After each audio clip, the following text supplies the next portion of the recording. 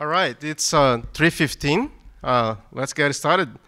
Uh, it's a pleasure to have everybody here uh, in this session. We're going to address the, the role of uh, forage legumes in the Anthropocene. We have a great line of speakers today. Uh, each speaker, we have 20 minutes. and um, hopefully we have maybe 18 minutes presentation and a couple of minutes for questions. And I'll, I'll stand up at the 16 minute mark so everybody knows that you, got two minutes to, to finish the talk. And uh, let's get started. The first uh, speaker uh, is uh, uh, Jeff Brady. Jeff is uh, associate professor at Texas A&M AgriLife Research in Stephenville, and he's going to talk about the importance of forage legume epigenetics in the Anthropocene. Jeff?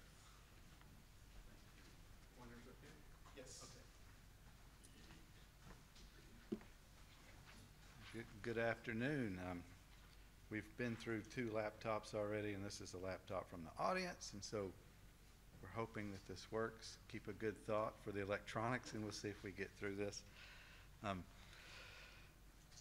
this talk kind of started this winter when I was walking around in uh, Texas A&M AgriLife Research Center in Stephenville, bumped into my colleague Jim Muir in the hallway, and we had a discussion where he said, what is that called when a plant has a trait, but it doesn't express that trait? I said, You talking about epigenetics? He said, Yeah, that's it.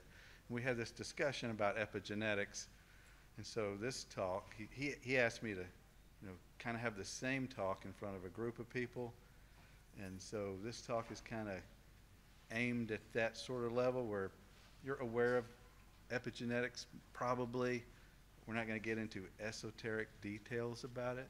and keep it practical if possible.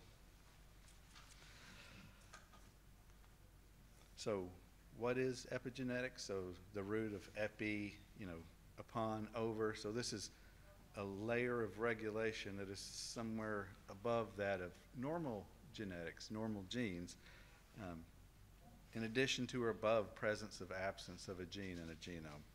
And another definition, trait differences caused by modification of gene expression rather than alteration of the genetic code. So it's not due to mutation, it's due to something other than the sequence of the DNA. And there's only two vocabulary words here. One is euchromatin, and euchromatin is, you know, have openly, open transcriptionally active DNA, and then the other vocab word heterochromatin, condensed transcriptionally inactive DNA. And have a cartoon, so I'm glad the, power, the PowerPoint's working now. It'll be hard to kind of explain all this without a diagram, right? So this is the kind of abbreviated version. There's many players involved in epigenetic regulation of gene expression. But we're going to talk about like the two star players really, and the two star players are methylated cytosine residues. That's the one most everybody knows about, and then acetylated histone octamers. Um, in this cartoon, the DNA, double-stranded DNA, is this black line that runs around the histones and then comes around here. Histone octamers are the blue blobs. Methylcytosine residues are the red dots, and the acetylated histone octamers are the, the green blobs. And you notice wherever the histone octamers have acetyl groups on them, the octamers don't crowd together. They're spread apart, and it's because they don't fit together that well when they're acetylated. And then the heterochromatin is marked with cytosine residues. Okay. How's, do I need to speak a little louder? Gotcha. So we have euchromatin on the left, heterochromatin on the right, and it's associated with this acetylation and cytosine methylation of DNA residues. And in euchromatic regions, RNA polymerase can access the genome and, and begin transcription with transcription factors and carry out the central dogma of molecular genetics that DNA is transcribed into RNA, which is translated into protein. Those proteins result in plant traits. At the bottom, we have chemical or environmental stimuli that can shift chromatin to euchromatin or heterochromatin. It can go either way depending on the stimulus. The same stimulus can shift euchromatin to heterochromatin or heterochromatin to euchromatin. So it can go both ways even with the same environmental stimulus. So there's some establishment uh, protein and RNA machines that are involved in creating um, heterochromatin, and then there's maintenance machines that are involved in maintaining that after it's there. And then processes like cell division can remove um, these epigenetic marks and shift over to euchromatin. And the gist of all this, how does epigenetics work? Well, the environment works at the level of gene. It works on individual gene loci, and it either represses or activates in converting that genetic locus to euchromatin or to heterochromatin. And if it's converted to euchromatin, the gene is going to be expressed. If it's a heterochromatic region, gene's not going to be expressed. Doesn't matter that the plant has the gene, still not going to express it. So why does this exist? Why epigenetics or why switch between heterochromatin and euchromatin? There's a few reasons. Um, when a legume seed hits the ground and germinates, it's not going anywhere after that. And so whatever happens at that site, the plant has to be ready for. This switching between heterochromatin and euchromatin provides some plasticity to the plant and ability to change its phenotype a little bit without changing its genome. And then genome organization is another reason. And I have what, weird DNA calculations. So that means there's a lot of DNA in a cell. It's, it's crazy how much there is. So legume genomes are roughly equivalent to human genome in size, and we have about two meters of DNA in every one of our cells. So every nucleus in my body has about two meters of DNA. I've got 50 to 70 trillion cells in my body. You line all those up, if you could, put it all into one molecule and line it up, it would go all the way around the moon and back 150,000 times. It's mind-boggling to me. I don't, I don't understand how that can be, but I've done the math. It checks out. So developmental uh, programming is, is another reason we have heterochromatin and euchromatin. So you can turn genes off when they're no longer needed. I have genes to make thumbs. I've got two of them.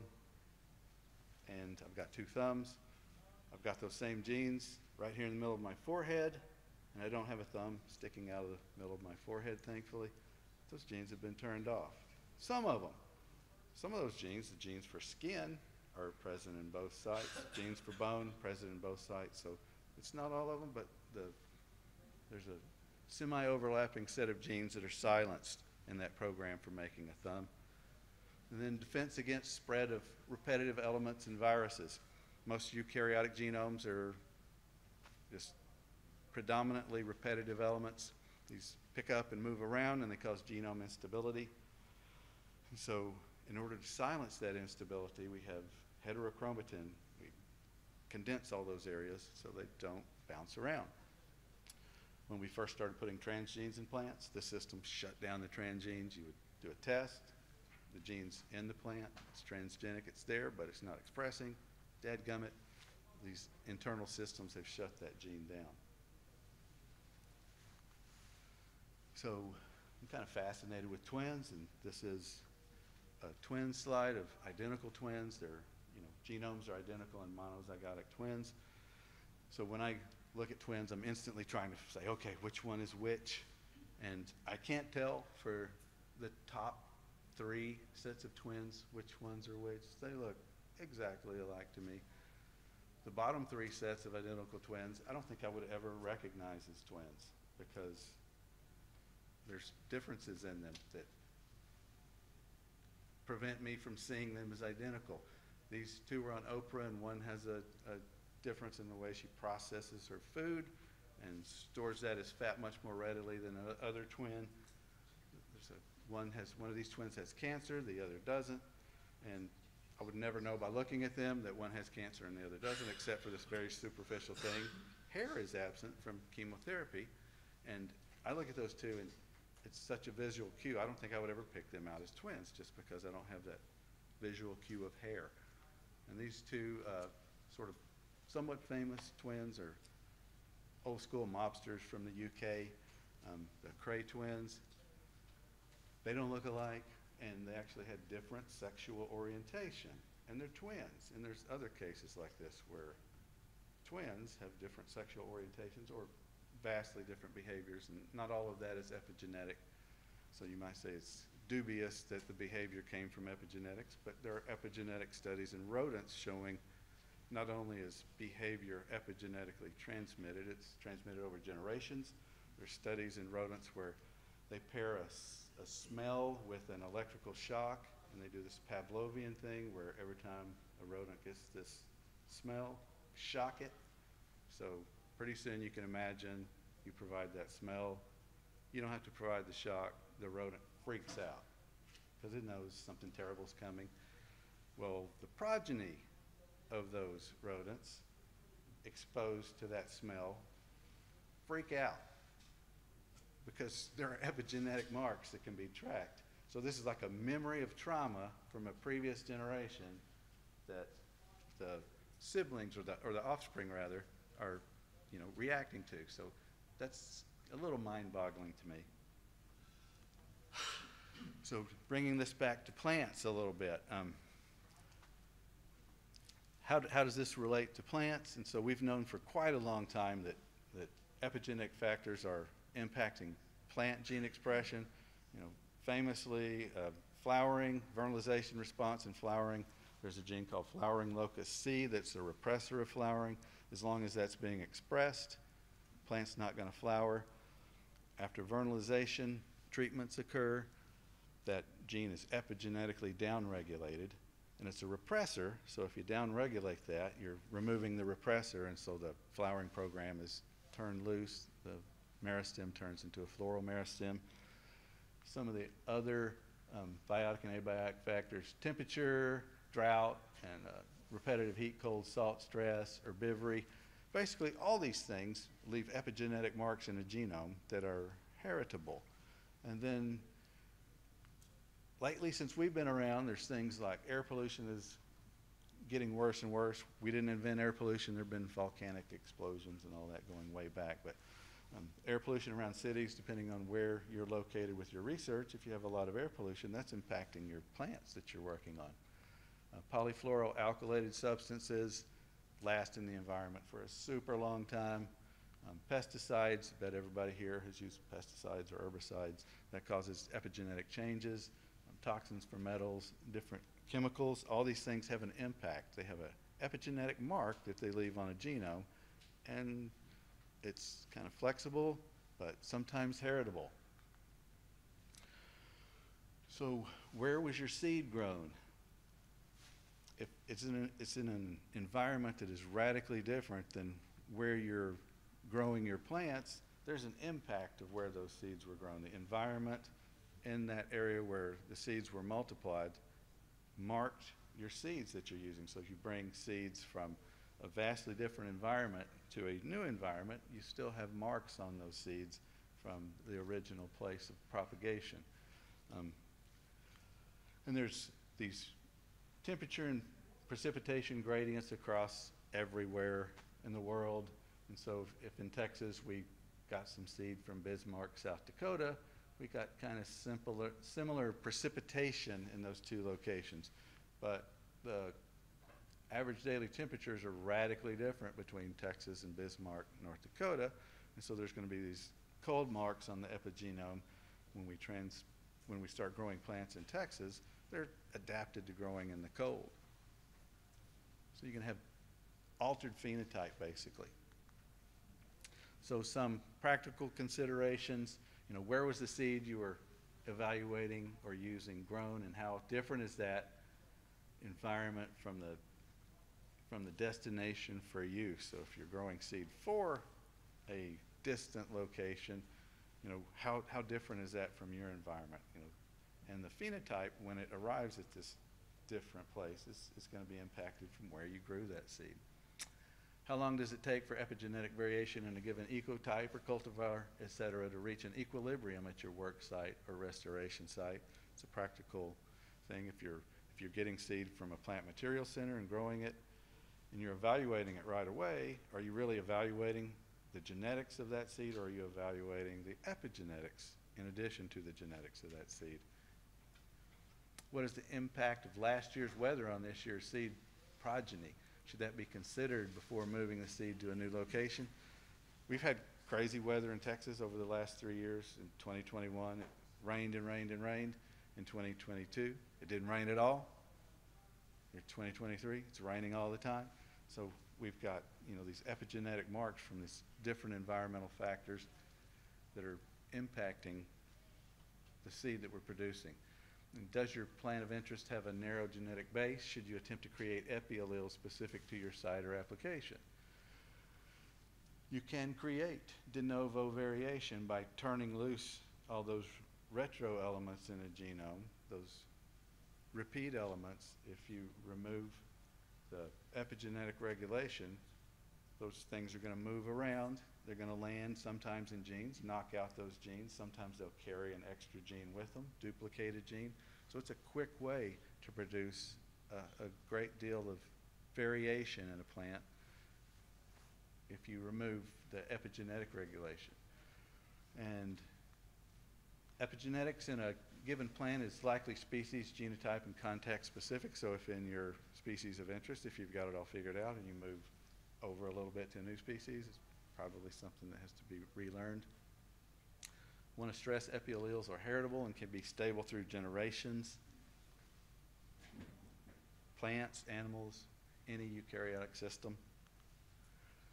And I have this slide as sort of a continuum of awareness about epigenetic impacts on plant phenotype. So think about, um, I was talking about Jim, a, a forage agronomist and grassland ecologist. He's aware of it and, you know, exposed to it, but the layperson maybe never has seen the word epigenetics. Everybody's heard of genetics, but epigenetics, not, not so many people. And then there's now, an, you know, the popularization of epigenetics now is, is like through a diet called the epigenetics diet that's supposed to alter your epigenome. And so I can't think of a diet phase fad that isn't, you know, rife with inaccuracy. So the popularization of this is um, likely to be impacted by that. If you're a restoration ecologist, you're aware that whatever seed source you use should be locally adapted and may or may not be aware of epigenetic impacts on phenotype. And you get over here to like plant, plant breeder and geneticist, you know, if you've got a, a degree in plant breeding or genetics, you're aware of epigenetics and what that is, unless you graduated in 1995 when it didn't exist and you've been kind of in the, in the dark for a while. If you've been going to conferences, you, you're aware of it. And so plant breeder and geneticists will use multiple locations and years to offset epigenetic impacts on field trials. So multiple years, multiple locations, you deal with some of that variation. And then epibreeder and epigeneticist at the far extreme creates epialleles, tries to manipulate epigenetics, and then characterizes established epigenetic differences between phenotypes. And the really hardcore epigenetics epigeneticists are exploring the mechanisms of epigenetics. How does, how does this work? How do these protein machines work together to do all these things? I should point out that anybody who grows plants and collects seeds also creates epialleles. If you're growing up plants and then you collect those seeds and you know, grow them somewhere, you've, you've created epialleles that are specific to that site and the environment in which you grew them. So you may be an epi breeder and didn't even know it. And I think we're getting close to the end, so with that, I'll end it. I appreciate it.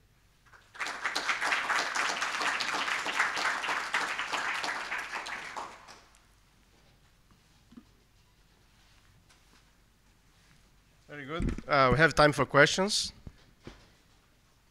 Yes, sir. Lynn. Yeah, can you separate epigenetics from G by E? So you could, you could even think of it as G by E by E. So, yeah, yeah, you, you, you can separate that. But most people talk about G by E, talk about environment. We're just not there yet. Um, I was wondering, because you gave a very interesting example with the rats um, and epigenetics in, in mammals. I'm, I'm wondering if it's different from plants. My, my first thought was whether or not epigenetics might be exacerbated by the mother-embryo relationship or parental care relationship, or maybe confounded a little bit in mammals compared to plants. Um, I am not a mammalian geneticist, and so this, that, that example is kind of outside of my expertise. So I'm not sure I can answer that in a satisfying way for you. And then plants don't really have those type of freak out behaviors. I'd like to, to ask another round, um, a round of applause for, for Jeff. We need to move forward. He's, he's going to be around. All right, next, next speaker, uh, uh, um, well, Dr. Bridget Lynch. Uh, we represent the, the, the Ireland group, uh, and uh, she's a senior uh, scientist at, at Teagasc. Uh, and uh, she's going to speak about legumes as a biological tool to address the sustainability of ruminant production systems. Bridget? Thank you very much, and I'm going to present this paper on behalf of um, myself and Associate Professor Helen Sheridan, um, who couldn't make um, the conference, um, unfortunately.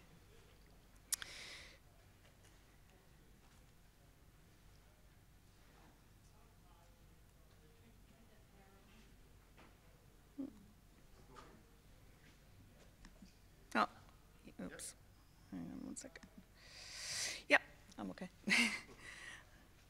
I'll use the clicker. Um, so the farm to fork strategy is part of the European Green Deal, and it has set out to improve the sustainability of our food um, systems in the European Union. There are some ambitious targets as part of this strategy. Um, so the reduction in um, nutrient uh, pollution in our waterways, our losses of nutrients, particularly nitrogen and phosphorus, um, a 20% reduction um, in fertilizer usage, chemical fertilizer usage, um, and also a target to reduce greenhouse gas emissions from agriculture and fisheries um, by at least 50%. If we look at the percentage of permanent grassland um, per EU country, which is shown here, um, the dark bars represent the percentage permanent grassland per utilisable uh, or per utilisable agricultural area, and the lighter bars represent um, permanent grassland as a percentage of total land use. You can see um, by far and above, Ireland has the largest percentage of permanent grassland per utilisable agricultural area. And our grasslands are temperate grasslands. We don't get extreme dry or wet seasons or cold seasons. Um, they are rotationally grazed, and the intensity of that rotational grazing, um, there's a there's variability in that, but um, largely our dairy systems are intensive, um, and then there's probably a spread in the intensity in our dry stock systems. So, from an Irish point of view, agriculture is the large, largest contributor um, to greenhouse gas emissions. Um, we have set out a target to reduce um, greenhouse gas emissions um, in Ireland by 2030 by 25%, um, with the aim of reaching um, climate neutrality by 2050. We have marginal abatement cost curve analysis, which looks at technologies that we can deploy on farm level and the cost of those technologies. Um, and the aim is to stack those technologies cumulatively on farm level in order to reduce um, our greenhouse gas emissions. One of the key strategy is the deployment um, and establishment of clover on farms. And in Ireland, White clover is by far our most common legume that we use um, in grasslands in Ireland, um, and it does very well when it's established. Also, I guess the, we have a target to restore all water bodies to good status by 2027. Currently, that's at 50%. So we are currently, um, I suppose, facing possible reductions in our permissible organic stocking rates and the amount of chemical fertilizer that we can apply um, to our grasslands um, and through our ruminant um, production systems. This is a summary of white clover incorporation um, in a dairy grazing trial um, that my colleagues in Moorepark conducted over an eight-year period um, where they compared grass-only swards receiving 250 kilos of nitrogen per hectare per year to a grass white clover um, system um, uh, receiving 150 kilos of nitrogen per hectare per year. The difference between the two systems um, over uh, the eight-year period uh, is shown in the final column. Um, so you can see that the herbage, average herbage production didn't differ between the two systems, despite the white clover um, system receiving 100 kilos of nitrogen less um, per annum. The silage fed during the lactation, there was an additional 74 kilos fed during the lactation to the white clover treatment, and most of that was fed in the autumn period. The average clover content was 22% um, across the eight year period. We saw an increase in milk yield and milk solids um, in the white clover treatment compared to the grass only.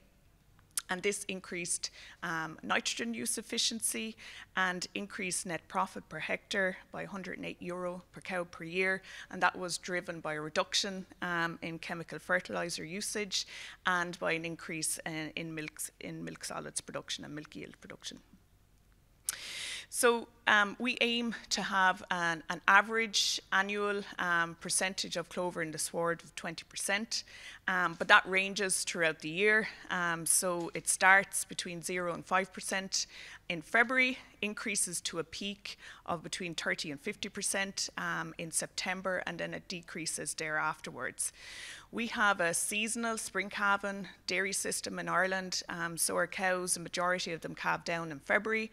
So we have a high demand for grass um, in the spring period of the year. Um, so I suppose um, you know the clover is is is um, not at its highest content at that period of time. So there can be a herbage availability challenge and a challenge with regards to adoption of white clover on farm levels because of that. Um, there's also studies underway um, incorporating white clover into sheep systems. This um, table summarises um, three years of work um, that my colleague Philip Creighton has conducted in Teagasc and Athenry, where he compared grass only to grass clover at a high nitrogen and grass clover at a low nitrogen. And you can see again that there were benefits with regards to performance, where average daily gain was increased under the clover incorporation um, swards and there was a reduced days to slaughter. With regards to herbage production, there was no differences across those treatments, um, despite the low nitrogen um, treatment getting um, 45 kilos of nitrogen less um, per hectare per year. The red clover incorporation into grassland systems, um, there's a number of, I suppose, projects and studies that have begun. Um, we've got one publication, um, a recent publication, Red Clover Incorporation into Grasslands in Ireland um, uh, recently.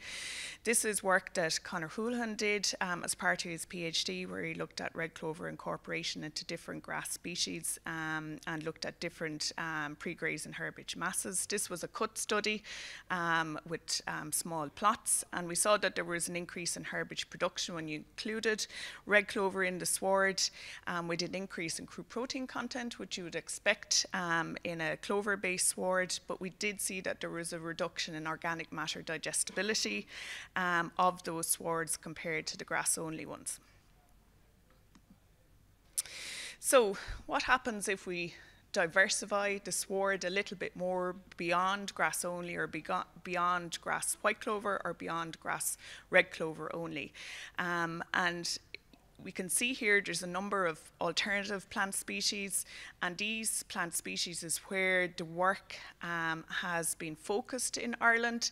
Um, there are other plant species that we have looked at, um, I guess, in plot work and grazing work, but these are the main plant species that establish um, to reasonable um, uh, amounts in the sward and that do persist under intensive grazing systems.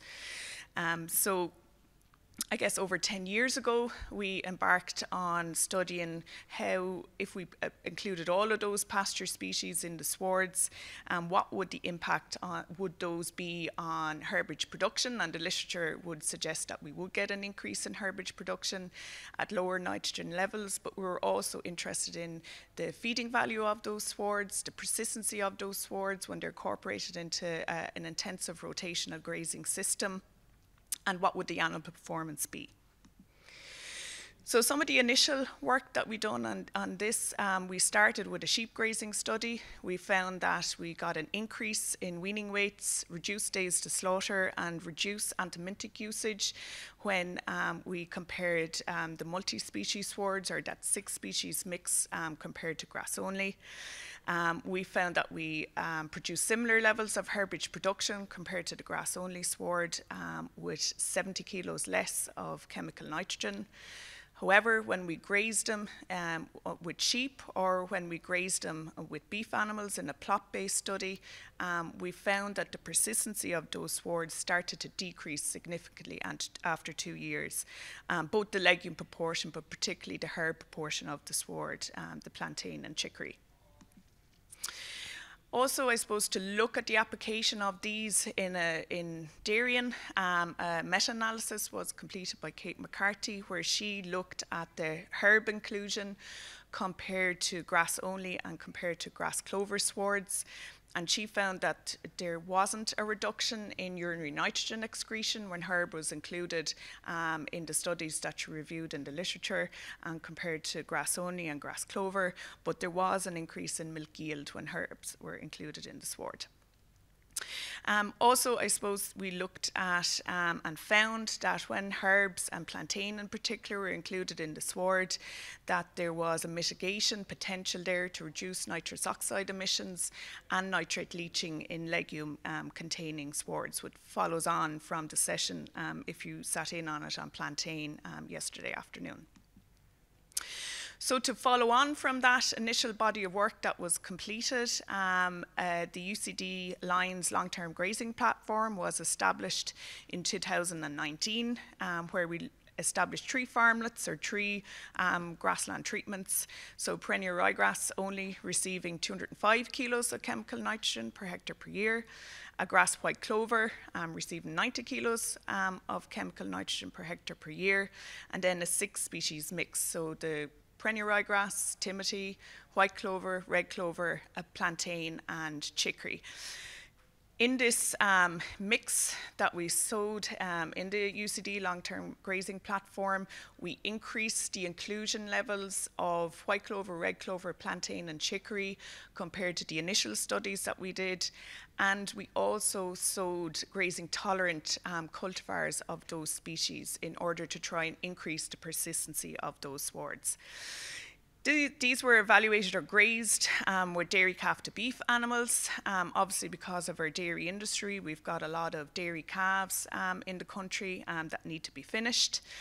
And our target pre-grazing herbage mass was 1,500 kilos of dry matter per hectare above the post-grazing um, um, residuals. So we deal in the grazing horizon with regards to target pre-grazing herbage masses. And that post-grazing sward height um, for the grass and grass clover treatment was four centimetres and it was six centimetres for the multi-species sward.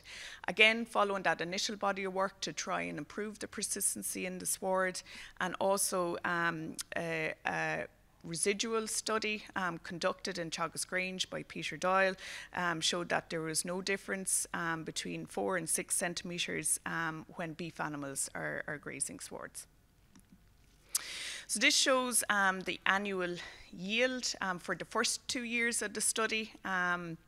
So you can see that there was no difference between the perennial ryegrass and the white clover treatment, but the multi-species swards um, produced more annual herbage over that two-year period uh, compared to the perennial ryegrass and the perennial ryegrass white clover treatment. So what was contributing um, to those swards with regards to um, yield?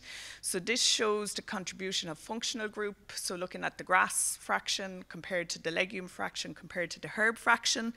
Um, so in the multi-species swards, the you can see the grass, sorry, is represented by green. Um, the clover um, proportion is yellow and the herb proportion is blue. And then we've also got the weed and dead material represented. Um, so you can see that there was a larger proportion of clover material in the multi-species treatment um, compared to the grass white clover. Um, and we had a good um, uh, contribution of the herbs to the sward and to yield in the multi-species trial. So if we separate them out by season um, and look at the sown species contribution um, for the multi-species only, um, we've got uh, the early season here, which is the March to May period. We've got mid-season in the middle, which is June to August, and then the late season is September to November. Um, so the green represents the grasses, so perennial ryegrass, timothy. Yellow is white clover, red is red clover, um, blue is plantain, and the purple is the chicory. Um, so you can see that um, the clover increased, particularly the red clover increased as the year progressed at the expense of the grass um, fraction of the sward and also um, at the expense of the herb fraction of the sward as the year progressed. Um, so that's no real surprise, I guess, with regards to clovers. Um, and we did see that the plantain proportion of the sward um, was higher at the start of the year compared to the mid and the late season, and that shows that it's winter active um, and perhaps uh, can contribute to herbage production in legume containing or clover containing swards in Ireland. So I suppose there's no point um, producing um, additional tons of herbage um, if they have inferior nutritive value. So we're interested to see what the nutritive value of these swards were. Um, so and the red represents perennial ryegrass, the yellow is the perennial ryegrass and white clover, and the multi-species is the green in these graphs. So we saw a reduction in, in NDF um, in the clover and the multi-species compared to the grass fraction. Uh, we had a significant increase in ADL um, in the multi-species, um, numerically, I suppose, small or maybe biologically um, not that significant. With regards to crude protein, as you would expect, the legume-containing swards increase crude protein. Um, uh, we saw an increase in ash content in the multi-species compared to the grass-only swards, and we're seeing that repeatedly um, where you have herbs inside in the sward, that they increase more um, nutrients and minerals, um, and that follows through in a higher ash content when you analyse the herbage. A reduction in water-soluble carbohydrates, um, and also a reduction in dry matter concentration in the legume-containing swards, and then also in the herb-containing swards um, and that would be expected because there's lower dry matter in um, the herbs and the legumes. Um, this is a study that Kieran Hearn um, conducted and published this year where he looked at separating out um, do, those species um, and evaluating them in a small plot study that was grazed by dairy cows. So he evaluated grass only as the control and compared it to grass plus the individual herbs, grass plus the individual um, white clovers, then grass plus the two clovers together um, and grass plus um, the uh, clover and the herbs um, all together. So quite a busy table, so I'm just going to uh, uh, point out the important points. So we have botanical composition and chemical composition. Um, so you can see that the white clover and plantain um, established um, to good quantities in this experiment and overall, um, compared to the red clover and the uh, chicory um, um, proportions in the sward. And overall, we found that the grass and the white clover with the plantain provided a good, stable um, uh, sward with regards to the um, pasture species and stability of what was in the sward, um, and uh, uh, uh I suppose a, a good um, chemical composition or nutritive value. This um, is a summary table. There's a lot of grazing trials underway in Ireland um, on multi-species. This compares the multi-species compared to grass-only swards um, in sheep production systems, beef production systems, and also in dairy systems. Overall, we see that there are benefits in the dry stock systems with regards to sheep um, beef production systems regards um, increased average daily gain and reduced days to slaughter. Um, in the dairying systems, a bit, it's a bit more mixed, um, the results so far.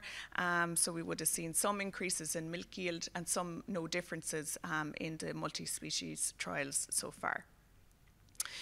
So I suppose in summary, what do we know?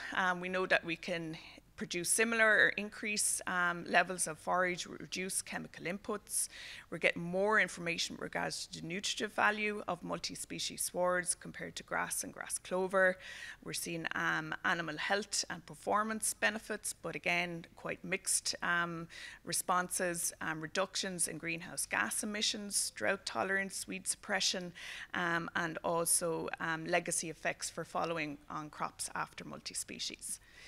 Um, there's still a lot of challenges when you diverse the sward beyond grass or beyond grass white clover. It's quite a dynamic sward, um, so no sward tends to be the same. You get variability in the inclusion levels of the species in the swards, um, and therefore it gets quite difficult to predict um, when farmers sow out multi-species swards, what um, species are going to be there in, in significant amounts in order to drive herbage production and animal production action.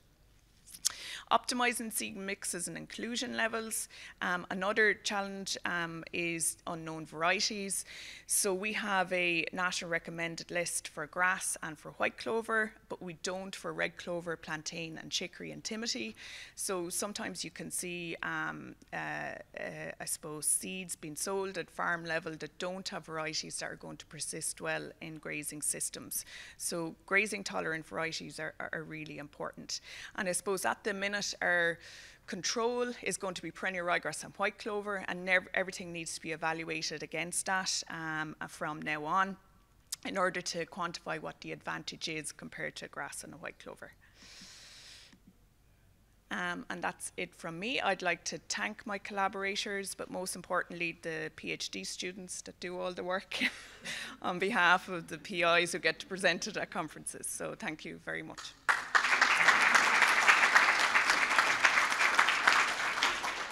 Thank you very much, Bridget. Uh, may have time for one question while I upload the other presentation? Any question? Yeah, Please.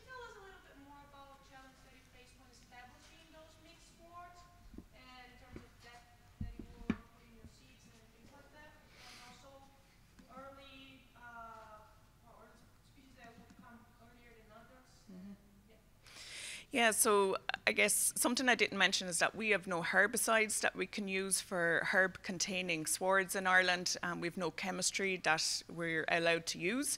So when we're establishing these swards, getting a, um, a sterile seedbed is really important um, in order to make sure that we don't have a lot of weeds that come in this ward afterwards.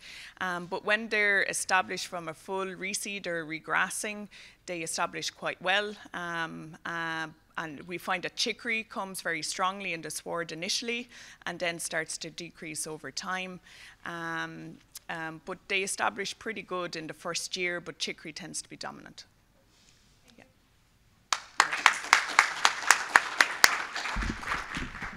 Our next speaker, uh, it's a pleasure to introduce uh, Dr. Uh, Bob Bob Boddey. Bob is a senior research uh, from Embrapa Agrobiology in Brazil. he's going to talk about stoloniferous forage legumes for sustainable mixed pastures in the tropics. Bob? Okay. Good afternoon. Pleasure to be here, uh, even it is so cold. right. Um, this is work of a team we call the Pegasus Group. Um, and uh, it's the people from the my institution, Embrapa Agrobiology, the university across the road, which is the Rural University of Rio de Janeiro. Uh, there's the CEPLAC, the Cocoa Research Pastures Division, uh, very important contribution from the University of Lavras with Bruno and Danielle, and uh, this is the people from our place. Okay. Um, There we go. So, Brazil has over 50 million hectares of brachiaria pastures. That's just brachiaria. So it's a lot, a great deal. And most of it looks like this, degraded. So, how do we go from this to this? Well, obviously the thing is uh, fertilizer, right? Uh, with improved management, with nitrogen fertilization, this is taking the whole herd. We can improve uh, output of uh, carcass from up to 50% by um, per, per hectare, okay? Or per herd, sorry, per herd.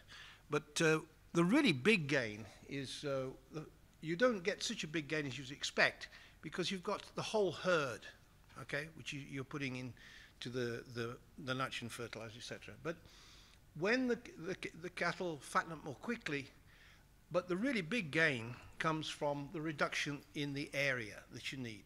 On a degraded pasture, you need 30 hectares for these 200 animals or so, right? When you have uh, a low input, that's just without nitrogen fertilizer, just reviewing the thing, you can get down to 13. And with good end fertilization, you can get down to five hectares. So you really are sparing five-sixths of your land can go back to forest if you like. Okay? No, it won't, but anyway.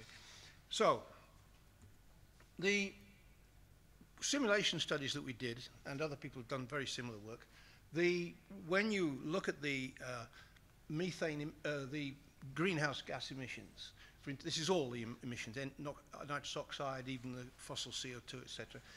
As you put in more and more inputs, you're putting in, you're getting more and more gases, greenhouse gases.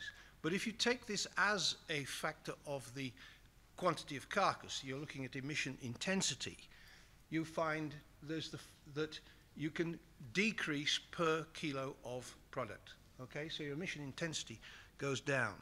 Now, that's with nitrogen fertilizer. What would happen if we had a legume? Well, what we would expect would be something like this, that we would get higher emissions, yes, we get more nitrous oxide, but we wouldn't have to pay for the nitrogen fertilizer with CO2, okay, fossil CO2. So the expected emissions would go up, but the expected emission per carcass would expect to go down. So how can we do that? Well, what is the potential of the forage legumes? Compared to pastures without any fertilizer, of course, you get a higher production with a lower emission of greenhouse gases per kilogram of carcass. Okay? And compared to pastures with N fertilizer addition, you also dispense with the avoided, you get rid of the uh, greenhouse gas emissions associated with the manufacture, transport, and application of the nitrogen fertilizer. But the questions we wanted to answer, and our research has been answering in these last few years, how will the legume residues affect nitrous oxide emissions compared with fertilizer? And will the presence of the legume in the diet lower N, uh, enteric methane emissions? But all of this is not very interesting unless we've got persistence of the legume in the pasture. Now, if you ask the majority of Brazilians, even my age or a bit younger, they will tell you that, oh, it's no use, the legumes don't stay in the pastures, it's a waste of time. And we've found that working with people in our group in Bahia and with Lavras, that this is not true altogether. The forage legumes they mainly looked at were Stylosanthes species, and they form seeds at the top of the stalk, and most of them are consumed by the animal, or even if they fall to the ground, they don't germinate. Very hard seeds. Okay, so that's really why after a year or two you lose all your Stylosanthes. Keep on clicking. Right. But stoloniferous legumes, there's two main ones that we've worked with. This is Arachis pintoi, the forage peanut, or Desmodium ovalifolium, which is, keep on changing the name, it's now grown a heterocarpa subspecies of ovalifolium. But what happens is that the, um, the brachiaria is tall, and if you don't keep the brachiaria down, the legume has to grow up. uh, Can you see this plant here? There's Arachis pintoi going up here. There's no way that any stolon is going to get to the ground and reproduce and continue its pr- vegetative propagation. So the solution is, we say the secret, because nobody seems to realize that you can do this with legumes in Brazil, is that the solution is to maintain pasture height at around 20 to 30 centimetres maximum. And this comes from the work at Lavras. They showed they got through to the same figure that the people in Bahia had been getting using a light inception work, light interception work. And 90 to 95% light interception is the same thing. And in that case, your pastures can go. And this is, this is with uh, the forage peanut. Nine years. So, nine years. I'm saying nine years because I mean persistent pasture. This is a persistent uh, um, weight gain of animals, right? Uh, increase with time, it seems. And this is over the whole time, compared to 120 kilos of nitrogen fertilizer on, on Brachiaria brizantha. The Brachiaria brizantha in, with the uh, forage, forage peanut uh, produce more, okay? So it, it can rival that. And this is the other legume is Desmodium ovalifolium. We had a rather dry period here. It didn't work quite so well, but still the, the, the legume managed to compete well with the fertilizer. And after um, five years, this is the two years of the five years, the last, last two years of the five years, you can see that it competed with 150 kilos of nitrogen fertilizer. A 30 a 60% increase over no nitrogen at all. The same if you use the mixed pasture or if you used 150 kilos of N. This is per hectare. This is per animal. Okay. And in the legume, somebody will ask me, so I put it in the thing. The legume in the diet was around 18%, but on the field it was over 30. They, they do select rather against the legume. It's rather bitter. It's a lot of tannins, which might be useful for the methane, right? So what we looked at was the uh, N2O emissions. Um, what they did was put a, um, a cage in the field where you put these or chambers for measuring nitrous oxide, and well, they also looked at the ammonia volatilization. I haven't got the data for that here. And you put a, a pancake of cow dung or a litre of urine inside your chamber, and then you just cover this up for an hour and measure the emissions. And a lot of hard work. And I haven't got all the names of the students here that've done it, but anyway. And this is what we looked at.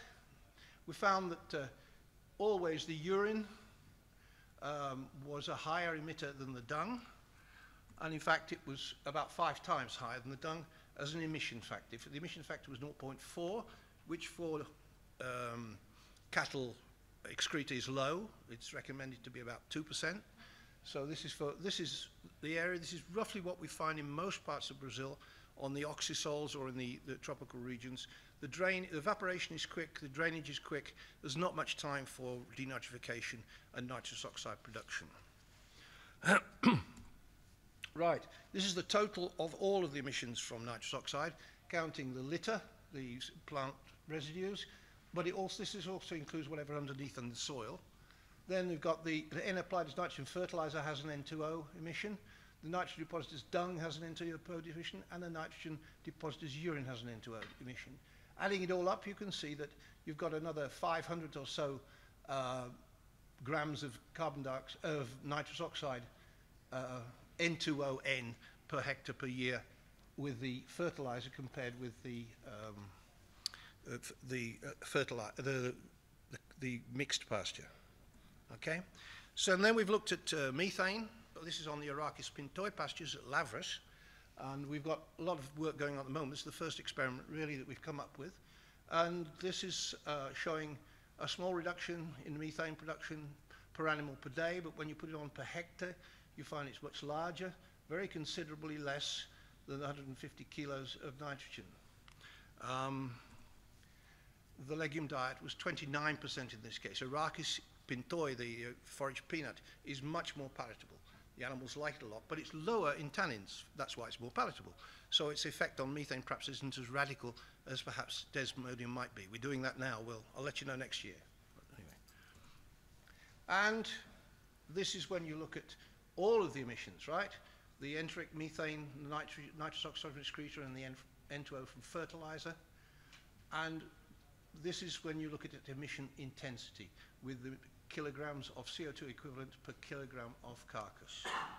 So it's win-win-win, okay? so results from the experiments at Lavras show that the GHG emission intensity is 35% lower for the mixed forage legume peanut pasture than the, Euro, the pasture alone, with 150 kilos. Okay? After three to four years, there's considerable nitrogen transfer from the legume to the grass, which we believe is through the litter mainly. And with this legume, or Desmodium ovalifolium, animal performance increases with time on these pastures compared to the fer- N-fertilized pastures. So that you're getting higher yields with time because the legume is transferring considerable amount of nitrogen to the grass. And the animals like the grass more than they like to eat the legume, especially with the case of Desmodium. With these legumes in a mixed pasture with uh, Brachiaria brizantha, Eurochlorobrizantha, animal weight gain can be the same than or more than grass alone pastures amended with 150 kilos of nitrogen. So we can economize 150 kilos of nitrogen, get lower emissions all at the same time. So summarizing up the big advantages, which aren't necessarily flashing in front of your eyes, is that we dispense with all emissions from N fertilizer. It has lower enteric methane emissions, has lower nitrous oxide emissions, and after two to three years, the cost for the farmer is lower than for N fertilizer. So he doesn't have to pay. All the other methods of reducing methane, you have to give them NOI, uh, that NOI th- 3, what is it? Uh, NOP 3 or one of those chemicals, and somebody's got to pay for that. In this case, the, the, it comes for free. There is such a thing as a free lunch. It's a stoloniferous legume, okay? And, of course, I have to mention it. There's always some problems. At the moment, this is Arachis pintoi, especially the forage uh, peanut, has been used extensively in Acre in the Amazon biome, over a million hectares of it. It's working beautifully. It also works beautifully in the Atlantic forest area, but won't work in the Cerrado area because of the very long dry season, five months without rain, four months without rain. And even the desmodium we don't think will work very well in that area. So we need more research to select a legume, stoloniferous legume preferably, for this region of the Cerrado. The, the very large area, uh, uh, of all of the Cerrado is 200 million hectares, but about half of it's pasture. And, uh, you know, that was really important that we get a legume for that biome. For that biome. Uh, and seeds. At the moment, Desmodium ovalium seeds are being produced in Brazil, but the seed companies are waiting for the demand to increase, and the demand won't increase until they see the application, so it's a bit like the chicken and the egg syndrome. You know, until we get the demand, we won't want to produce the seeds. Until we've got the seeds, we can't show you how good it is for to, to produce the demand. So, but the forage peanuts, they're basically mainly very poor seed producers and they're underground and difficult to harvest and expensive. But there is a company now, started up, which is producing what they call sprigs of, I'm told, uh, for, uh, I can't call them seedlings, they don't come from seed, but they're, they're made from stem pieces. And they're planting these in the field at about 10,000 per hectare. And uh, they say it's, they're getting take up. They're getting take up. They're getting people to bring this in. And so this is the way we could go forward at least for some time until somebody comes up with a better seeding version or some more legumes which produce the seeds. So, thank you very much.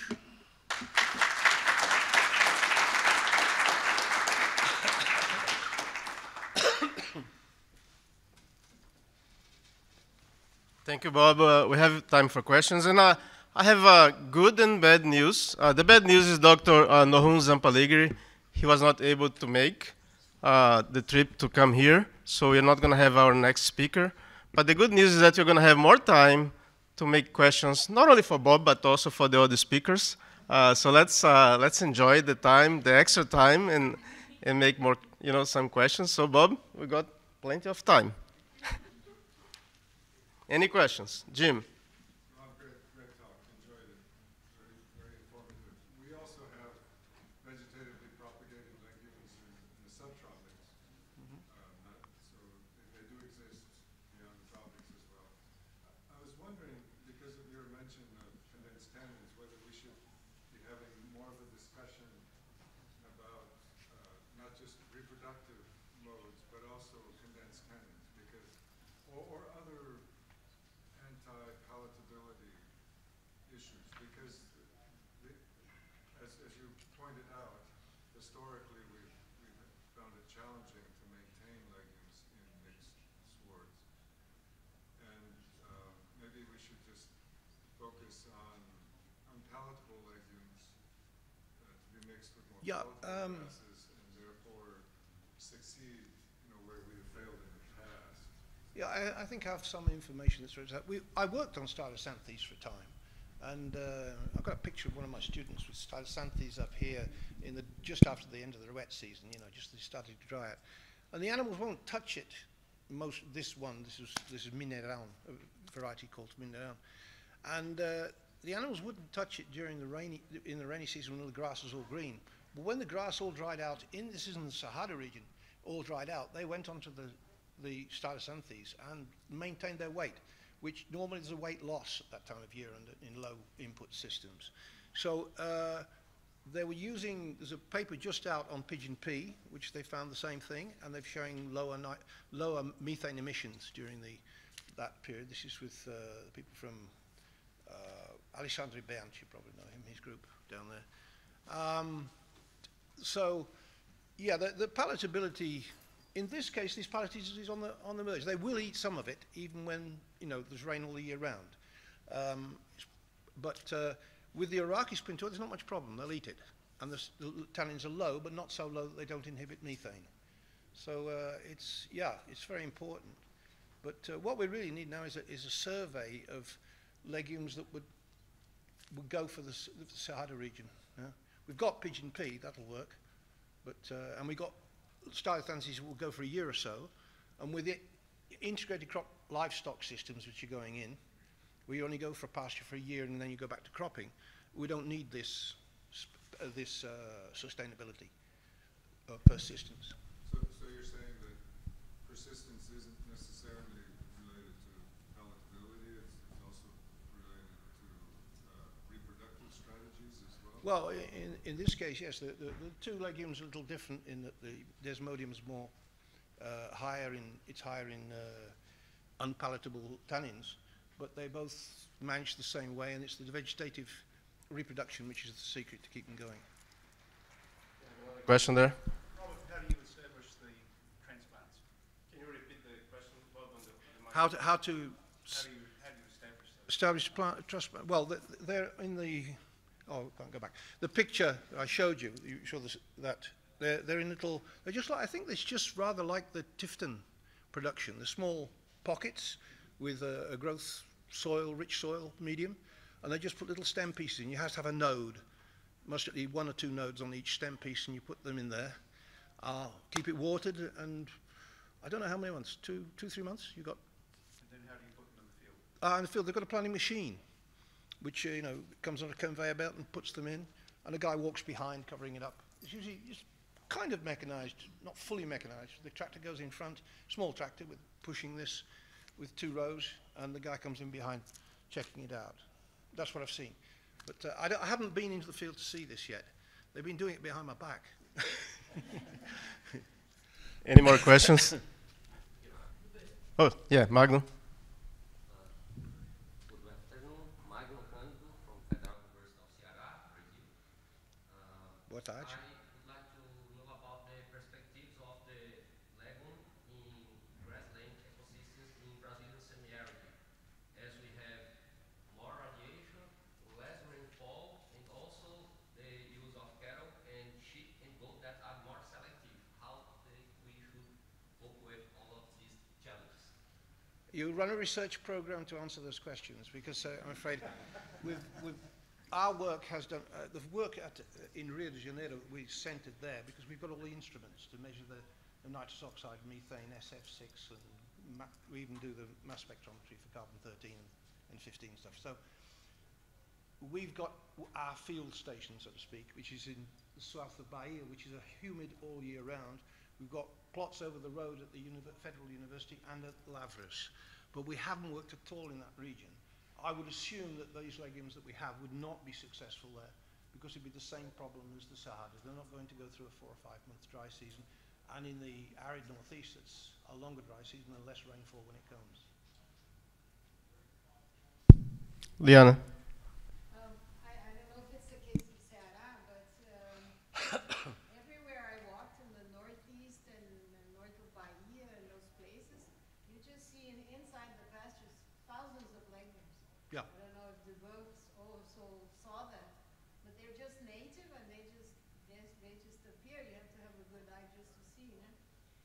But what I wanted to see, say is that I don't know if, um, if you're in touch, if you're aware, uh, if you know Zago from. Yeah, yeah, I, I, exactly him who I'm going to, I'm talking with him.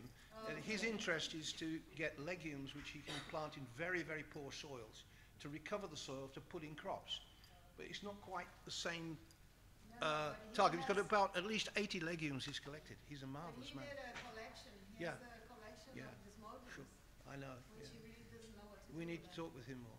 But I think about questions about the semi-arid. I forgot that we've got a guy from Pernambuco here. He must, and one we haven't mentioned, which of course is tree legumes, which you've also worked with. So, and so I think we'll probably get some, probably get some of that just now. Any other questions? Still have 15 minutes. Um, I do have. Oh, Jim, go ahead. I had a question for Great. Yes. that I didn't get to ask about. Yes. Um, a- As climate, the forecast is for climate to, to be more, more radical in its extremes, as well as uh, the rate of change. Um, And so my question is, how, how will the relative importance of epigenetics versus genetics uh, change with these extremes or with, with the speed up of human induced um, climate changes? So more extreme uh, weather would mean would mean more extreme epigenetic marks on the genome. Um, what do you do about that practically? So the forage breeder, not forage, but the legume breeder I talked to is a peanut breeder, and I asked him, "Do you even consider, you know, epigenetics when you're breeding?" And he's saying, "I've got a lot of stuff I'm tracking. I've got hundreds of lines and 20, 30,000 genes in each of four, you know, genomes in this allotetraploid and layering epigenetic concerns on top of that is not even a concern of his. He's like, I'm, I'm making progress. This is, you know, epigenetics is a, you know, another thing I don't need to deal with. But will, will there be more extreme impacts? Absolutely. I have, have a question uh, to Dr. Bridget Lynch. Uh, I want you to comment on the adoption uh, by producers of uh, the multi- multiple species swards in Ireland. Yeah, so I suppose the multi-species swards, uh, for some reason, farmers have engaged in them re- really well, and they have adopted them quite readily. Probably ahead of we've been able to develop a blueprint for them um, regards to their management. In addition, the Department of Agriculture has incentivized their adoption on farm levels um, by offering. Um, I, I suppose money um, per hectare of multi-species swards and grass red clover that's sown on swards. So they're definitely putting, um, I suppose, backing behind them um, as a mitigation strategy to reduce um, nitrogen. But farmers are curious about them and they're sowing them, um, and uh, I suppose we just need to try and keep up with that with regards to research. Thanks, Bridget. More questions? We still have time.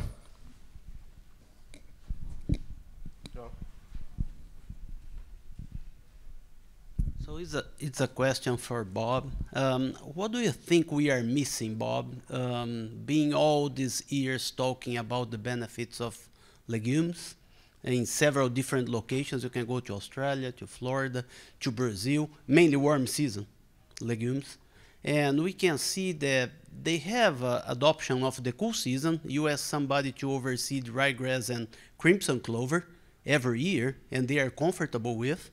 But then they look at the warm season and they think it needs to be perennial. And they are reluctant to replant if a two year is a failure, right? If a legume dies after two years, and what are we missing that we cannot convince our clientele or producers that are the end users of the technology to adopt this? Yeah, I would say there's kind of two groups of producers here. If we're talking about the extensive pasture management, uh, very low input, and the guy keeps going. Probably, if he's got a little bit of sense, he'll he'll he'll uh, restore his pasture every five to ten years. He'll plough it all up and, and put down lime, potassium, and phosphorus. He probably won't put any nitrogen on, but he stimulates the mineralization, so he gets a win on his uh, mines the soil for a bit of nitrogen. He gets his brachiaria to keep going. Um, in his case, he, you know, he puts in a legume for a couple of years and he's got to go and plough up again or seed bed in. He doesn't need to do the whole ploughing, can put it in strips. But he's very reluctant to have to go and mess, you know. So uh, uh, our technology with a stoloniferous legume, which will go for years, is very attractive to him. The other producer is the, the guy who's more advanced and he's going for integrated crop livestock or integrated crop forestry livestock. You know, and in that case, uh, they want a legume that's productive, germinates quickly, gets in there. You can put it in after. If you're going for in, standard integrated crop livestock, is soybean followed by maize undersown with brachiaria, and you have three or four months in the dry season to graze animals.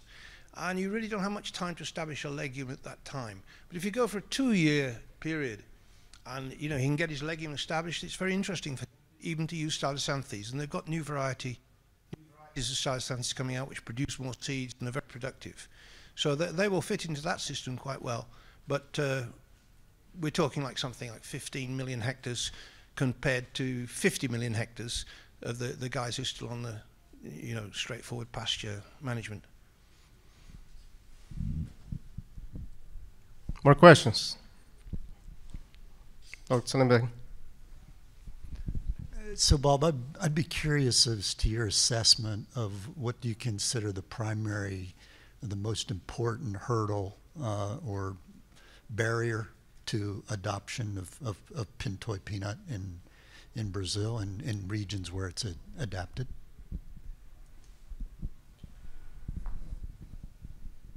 Yeah, I, well, we're just off the blocks, really. It's only a, a year or so, just under a year ago, I got some publicity. We got some publicity on the, the rural channel, you know, and it got poured in lots of emails and saying, "Where can I get the seeds?" And I said, "Ah," and you, you think, and then, and because that that's what happens. They come in and say, "Where to get the seeds?" They wait a year or so and say, "Ah, that doesn't, it's no good." So we really are trying to twist the arm of the seed producers to get the, the desmodium seeds out. And it may be that this idea of using, you know, sp- sprigs, uh, people who've got some money, you know, they're willing to invest, and they've got to have courage. They've got to, I mean, once it's there, you can keep it there. But if you, you just happen to have a bad time, you always, it's going to rain next week, so you put in all your sprigs, and then the rain doesn't come. I mean, you'd lose all that. That'd be, so it, there is a risk there, but I, I think it's the, the planting material and the deva- and the propaganda and extension that we need, you know.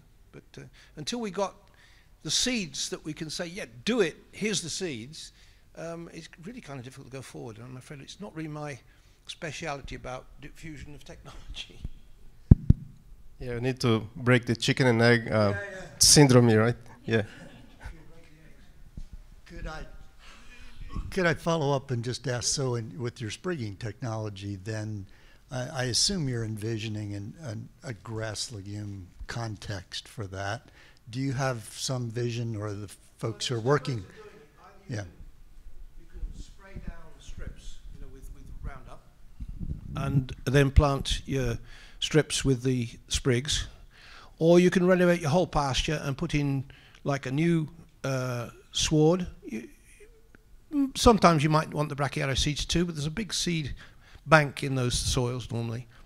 So you, you bring in the the new brachiaria and the sprigs at the same time, and just plant the whole field. Does that answer your question? Thank you. More questions?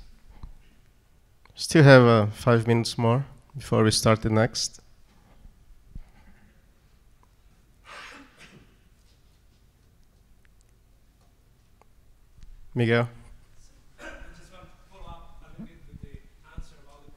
seed. So you have a so you have a technology that works. You know how to manage it, and so why are not the seeding companies interested in producing the seed?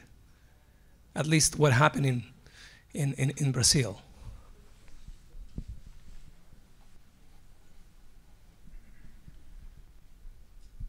I think you, you have to understand that for years and years, people are saying, you know, legumes, forage legumes, ah, waste of time. No, won't work, won't work. Really big negative pressure between, you know, agronomists who work even for Embrapa and people who work for the universities, and it's really negative pressure.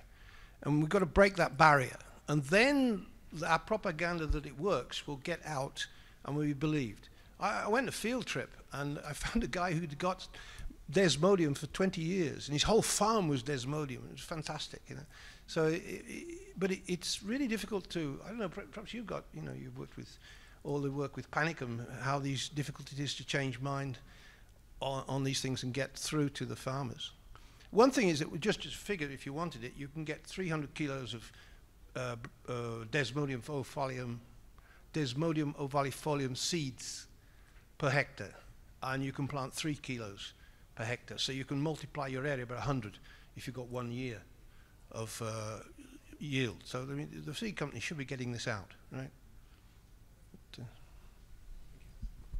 Just a follow up on that question. Uh, there are some regions uh, where we have uh, successful stories, uh, like in, in Acre, in northern Brazil, where they planted a lot. So what, what did they did different there that producers are adopting the technology? Do you know how to tell that story? They got Judson for him. Liana has some insights. Yeah, we, we always meet because of Unipasto, né, which is the association that uh, we're together with, with 31 seed producers. So Arachis, for instance, is inside the Unipasto program. So Unipasto, with the 31 producers, oh, not not all. I mean, maybe one or two, but anyway, the association um, then tries to sell. We have one with seed now, so he wants to sell. They want to sell, so that's a good thing. But what they did in Acre that I know is that Judson, everywhere where there was the syndrome of the death of brachiaria, he went out there with the sprigs and were and made the farmers plant. So this was an effort of uh, uh, uh, of a political contacts. He knows just about all the big plantations. They're big plantation owners. They're rich guys, right? yeah exactly yeah There's a few, th- a few hundred, a few Yeah. thousand, well, a few hundreds of owners, and you know they all know it's all politically connected. And, and this guy Judson Verheeren was the boss there. He, he knows them all, and the Yeah. guys who work with him. Yeah, so that's why. But also in Ipasto, um, we have Stylosanthes, so that's why we sell Stylosanthes seeds in Brazil. But the other genera, genera then we don't have uh, association of producers or interested producers. In. Yeah, but maybe, um, uh, maybe even uni, Unipasto can be interested in desmodium, and now with Zago's work and yours, and so you have to find producers that are interested, and then we'll multiply and sell. So it, look, it looks like an extra effort of the, the outreach component would, would help, right? Like the case in, in, in Acre. For those that don't know, Unipass is a, um, a group of seed companies that got together uh, to fund um, breeding, uh, forage breeding programs in Brazil. Uh, and and they, they fund, you know, programs in Embrapa and, and other institutions. Any other question? Jim? On Embrapa, sorry. This is not a question, this is a contribution to this discussion, taking it away from, from Brazil into other, to other parts.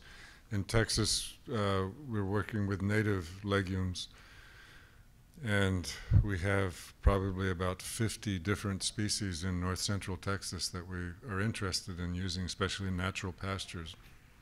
Seed companies will have nothing to do with it, understandably, because each one of these species has is unknown in terms of agronomy, uh, in terms of seed production, and in terms of market. Uh, the markets are very small. They're ecotypical, you know, for, for specific regions and specific soils. And so, the ideal is to have mixed seeds, you know, multi-species seed mixtures for native pasture or rangeland reseeding. But that ideal is going to be very, very difficult to sell in terms of of economics uh, for the seed industry, both the producers as well as the distributors. Thanks, Jim. Um, all right, let's let's move forward. It's it's my pleasure uh, to introduce Dr. Lynn Sollenberger. I guess he doesn't need much introduction. Dr. Sollenberger is well known in the uh, area. He's a distinguished professor at the agronomy department at University of Florida, and he's going to talk about climate change and uh, legume performance in grassland agroecosystems. Thank you very much, Jose. Good afternoon, everyone. Uh, Bob, I think you should hold out for reimbursement on your flight home because uh, you, you kind of doubled your effort here with this extra 15 minutes. So to begin, I would like to uh, recognize uh, my co-author, Marta Kohmann from uh, University of Wisconsin. So to start, I think we can say that if legumes are going to mitigate the effects of climate change, they have to persist and they have to thrive in what I think we consider to be an, an inevitably changing climate going forward. With that in mind, then, we need to understand how climate change factors are going to affect a range of forage legume responses. So, with that in mind, then, our objectives are quite simple uh, to review and synthesize literature addressing the effect of climate change factors on forage legume responses. So, we're going to look at three primary climate change factors atmospheric CO2, air temperature, and soil moisture. We'll consider both uh, temperate uh, climate legumes and warm climate legumes, both growing in mixture and monoculture. Uh, people are typically interested if you do a synthesis, you know, what did you go, how did you go about that process?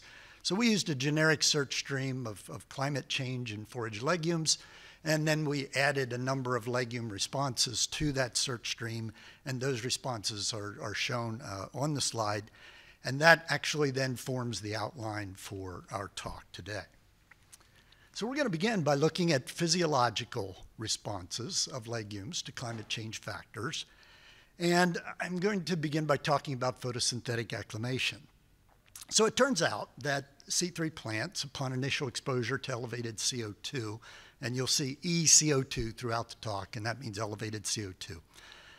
But they don't always sustain that increase. There are a number of factors that have been associated with the lack of continued response uh, to elevated CO2 in terms of photosynthesis. There are stomatal factors in terms of uh, stomatal conductance, mesophyll conductance. There have also been some data showing decreases in the activity of uh, carbon fixing enzymes. And then there are also carbon source and sink relationships. And we'll actually end up spending most of our time uh, referencing that particular issue. However, legumes typically do not acclimate to elevated CO2. And so then the question, logical question, is, is why? And it turns out that a significant amount of this is related to uh, nodules, nitrogen fixation, and their uh, carbon requirements. Baslam in 2014 looked at alfalfa as an example, and under conditions of elevated CO2, found that photosynthesis rate increased. That then provided additional assimilate to roots, which then in turn enhanced nodule development, which again increased sink strength, reconfirming, affirming that increased rate of photosynthesis. Legumes exposed to elevated CO2 also have been found to have greater leaf area and then altered metabolism and other aspects, including photosynthetic rate, stomatal conductance, and water use efficiency. So looking then, we've moved in a transition away from acclimation now to stomatal properties. And Habermann et al. in 2019 looked at the tropical legume Stylosanthes capitata. We've been talking about stylos for a little bit, under conditions of elevated CO2 and temperature. they found that under conditions of elevated CO2, there was greater stomatal density and conductance, which reduced transpiration rates, actually resulted in increase in leaf temperature and an increase in soil moisture status, interestingly. Elevated CO2 also stimulated photosynthesis, as we've seen, starch concentration of plant tissues, water use efficiency, and some attributes of photosystem function. On the other hand, temperature, elevated T, ET as I'm calling it, smaller stomata, but no real effects on conductance, transpiration, or leaf water status. So their basic conclusion was that in terms of the effects of climate change factors on leaf and stomata properties, that CO2 is really the primary driver. Temperature has some effect on some traits in, turn, in terms of photosystem 2 activity and antioxidants. So I'm going to move from physiological aspects to uh, some terra firma that I'm more comfortable with, talking about forage accumulation and botanical composition. And so within this context, there are quite a few papers that have looked at elevated CO2, and they've done so then in combination with other climate change factors, and, and we'll look at some of those as we go along. Anybody faint yet? I thought about the, that uh, panic reaction to stimulus of an epigenetic uh, loci uh, whenever I show you this, this table. So what I'm going to do is very quickly orient you to the table, and then we'll go through it uh, piece by piece so you're not scarred but for life, okay? So if you look on the left side, you'll see the legume species that we're talking about, right? Simple enough. The next column shows you uh, what uh, the companion species is or if it's growing in monoculture. Third column, CO2 levels. We typically have an ambient level and an elevated level. The response, well, there's some other treatment factors, the, the response, the result, and then uh, a citation. So we're going to work our way through this. And the first thing I want to really focus on is what is the effect of elevated CO2 on forage accumulation and legume proportion of the mixture. We're not going to go through every one of these in detail, perhaps much to your relief, but if we start working our way down through white clover, you'll see very consistent responses. White clover growing under elevated CO2, we get increasing forage accumulation, increasing, if growing in mixture, we get increasing white clover contributions in the mixture. Moving on down, we've got subterranean clover, very similar kind of response. And then moving to a little warmer environment where we have Rhizoma peanut, a subtropical member of the Arachis uh, genus. Elevated CO2 increases leaf, stem, root, and new rhizome mass. So that wasn't as painful as you thought, right? Uh, right? Right? Okay, good. All right. Now I'm going to go back and pick up just a couple of other quick points. If you combine elevated CO2 with low nitrogen, interestingly, what happens is that it drives down grass forage accumulation. And that's associated with the enhanced competitive ability of the legume and the inability of the legume to bring its own nitrogen lunch to the battle, right? Okay.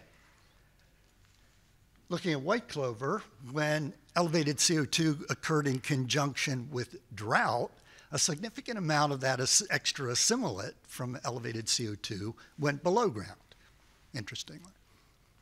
And then lastly on this table, if we look at uh, elevated temperature and CO2, we actually then drive down, that elevated temperature drives down the forage accumulation response from somewhere around, whoops, 19%. I'm not sure. Okay, here we go. I pushed a little too hard on that one. There we go. It drives down the response from an increase of 19% to about 8%. So high temperature is working in opposition to elevated CO2. All right, let's move on to nitrogen fixation. Been a number of studies looking at this. Um, elevated CO2 has fairly consistently increased nitrogen fixation, in this case subclover. And Interestingly, the proportion of nitrogen from N fixation has also increased associated with elevated CO2, but it has declined in response to elevated temperature. Zanetti and Hartwig also looked at this, and they likewise found that elevated CO2 drove a higher percentage of clover N derived from nitrogen fixation from about 59 to about 66 percent. So then the question becomes what does or why does elevated CO2 increase nitrogen fixation? Well, it turns out that greater nitrogen fixation is associated with greater number of nodules, which we already saw a little bit ago, but it's also a response to greater sink strength.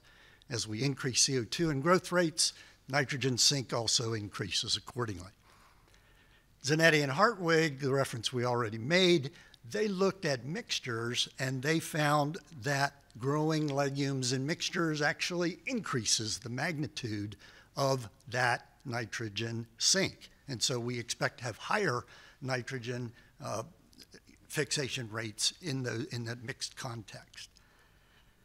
So in general, when we can say that increased legume competitive ability with grass under elevated CO2 is associated with the legume's ability to fix N2 and to then overcome the reduced availability of soil N as higher yields are driving greater soil mineral N uptake. What about nutrient value? So it turns out that elevated CO2, the effects on nutritive value are somewhat less pronounced and considerably less pronounced than what we see in terms of forage accumulation. Most studies, however, do indicate greater non-structural carbohydrate concentration, but somewhat less N. The dreaded table. All right, so here we go again. Legume species, CO2 level, and what happened. And again, I'm not going to read all of these to you, but very quickly we can see nitrogen concentration decreasing, protein concentration decreasing with higher elevated, with, with elevated CO2.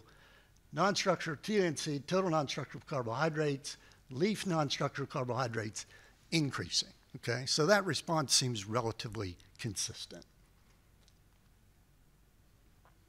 Just a couple other quick points.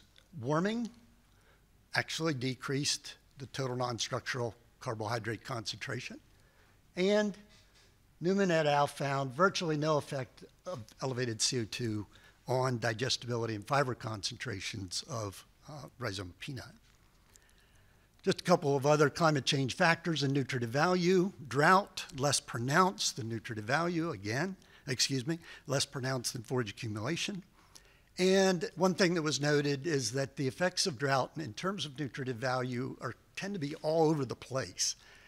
And it makes some sense because, you know, your drought to me may not, you know, it might be a good moisture situation to me. So uh, what is defined as a drought varies considerably in the literature. In general, I think we can say that the, the climate change factor that has the greatest impact on nutritive value is elevated temperature. A number of studies uh, point to this, and I would like to just show you that it depends on what part of the plant that you look at. Uh, this, these are some data from Yoana Newman.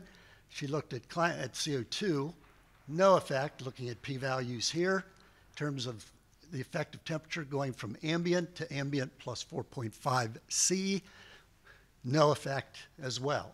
If we looked at STEM, however, the situation is the same down here, no effect, but we have linear decreases in digestibility and they are associated with linear increases in the fiber fraction, NDF, as well as lignin concentration.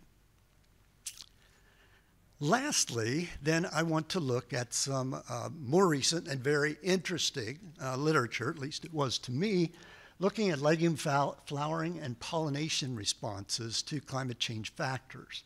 There have been limited studies done on this topic, but Stylo uh, capitata has been a focus. So in this work, um, the first category of response we want to look at is pollen grain morphology. And it turns out that climate change factors result in early de degeneration and hypertrophy of cells that are important for the nutrition and the development of pollen grains. They also affect the external cell wall and the pollen grain apertures. So we go to the bottom and get to the result, and the result of this is the decreased viability of pollen grains under uh, climate change conditions. What about flowering and pollination aspects? Similar treatments as ones we just looked at, elevated temperature, elevated CO2. So let's see what happened. Elevated temperature increased flowering by about 70%. The combination of elevated CO2 and elevated temperature increased flower number by almost 140%. And together they resulted in about an 83% increase in floral visits from pollinators. Interesting. Elevated temperature actually hastens the onset of floral opening in the morning, but it, they found that it did not affect the duration of floral opening throughout the day.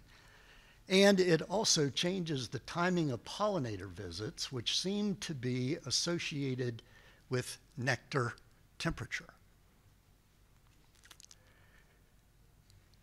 Under elevated temperatures, MALIF 22, nectar sugar concentration was 39% con uh, greater than under ambient. And this is just general plant aspects. Phillips, 2018. These plants, in this particular case, higher temperature and drought stress, flower earlier, produce fewer flowers. They begin flowers with flowering without producing nectar, and actually they only allocate nectar to some proportion of flowers as a means of uh, moisture saving strategy. So we conclude then that particularly elevated temperature and drought can suppress pollinator visits and really mess with the balance uh, between plants and pollinators. All right, let's wrap it up. And there is variation in literature for some of these responses, and I didn't have really time to delve into all of that. But we can, I think, generally conclude that elevated CO2 is likely going to increase legume forage accumulation, nitrogen fixation, and tissue levels of non-structural carbohydrates. Also, it's likely to reduce nitrogen concentration in those tissues. Drought is, may have some effect on forage availability, but, it's, or, but it, it, yes, I should say, drought reduces forage availability. Its effects on nutritive value are not as consistent. Elevated temperature is really one of our main drivers of nutritive value. The most consistent responses are found there. And we also observed that when elevated CO2 is accompanied by elevated temperature, some of the effects of elevated CO2 in terms of positive impacts in forage accumulation and nitrogen fixation are diminished. We observed that climate change factors can affect pollen availability, pollinator behavior, and likely have some impact on legume reproductive success. And to wrap it all up, then, I would state that the effects of climate change and factors on forage legumes can be generalized and predicted to an extent, but there are definitely interactions among climate change factors and with local environments that may confound our predictive ability. So, with that, thank you very much. I appreciate your time and attention. And if I have time, I'm happy to try to answer any questions that you might have. Yeah.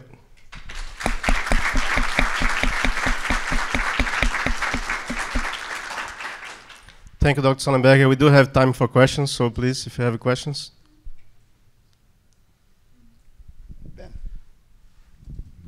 Um, in your pollinator data, um, I know you were talking about one legume species, but um, were there other legumes that uh, you reviewed that had similar responses, or were you just summarizing that one? Apparently, there there is one just one brave research group uh, in the world that I found that was willing to uh, venture into that area of research. So I looked.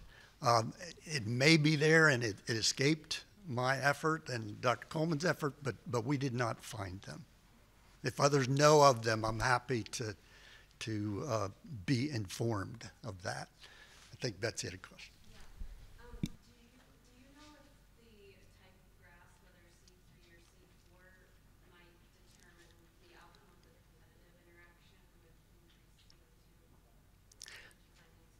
Yeah, I, I had another slide in there with C4 grasses, but I couldn't do it because I didn't have enough time.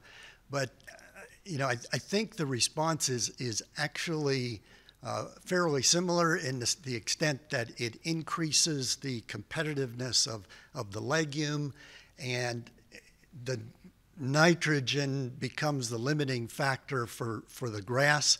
The elevated CO2 can, can drive increasing carbon uh, accumulation.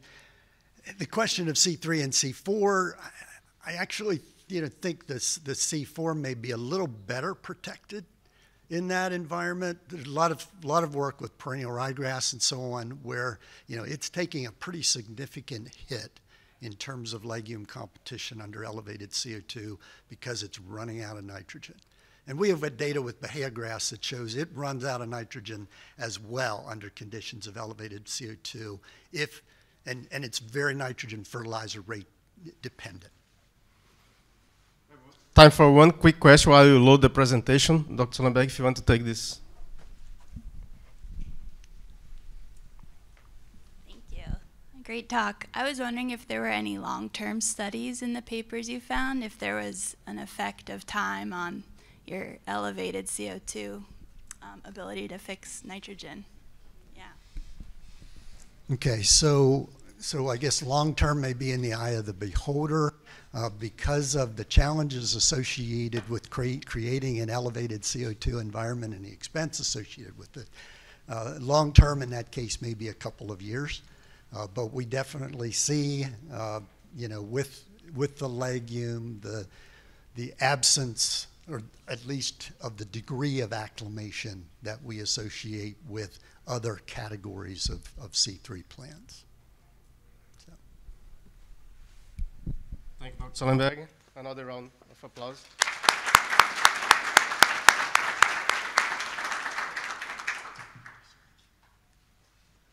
Well, uh, I'll be doing the next uh, talk. Uh, so for those of you that don't know me, I'm, I'm José Dubeux, I'm professor of forage agronomy at the University of Florida, based on North Florida Research and Education Center in Marianna.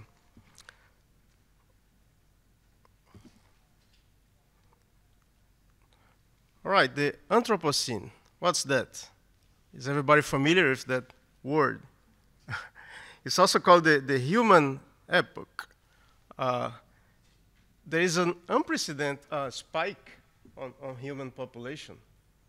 If you guys have seen, you know, that uh, get a, the thousand-year history of human population, the, next, the last 150 years or so, there was a big spike.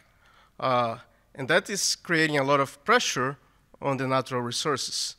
The result of that is uh, loss of biodiversity. Like um, the last talk, we are increasing uh, greenhouse gas in the, in the atmosphere. Uh, it's getting warmer, climate change, more frequent uh, weather extremes like uh, floods or, or, droughts.